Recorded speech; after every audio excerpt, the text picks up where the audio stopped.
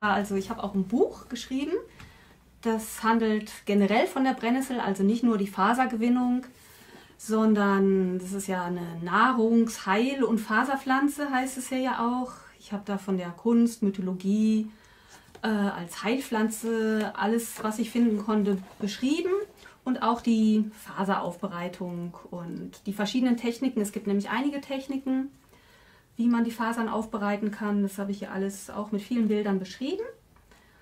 Ähm, genau, wer ein bisschen geschickt ist, kann es damit gut lernen. Ansonsten empfehle ich auch meine Seminare, wo ich es zeige. Und ja, ich hoffe, ihr befreundet euch an mit der Brennnessel.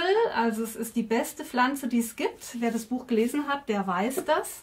Sie muss sich wehren mit ihren Brennhaaren, weil sie so gut ist, sonst wäre sie längst weg. Und wenn ihr euch mit der Pflanze beschäftigt, wisst ihr das.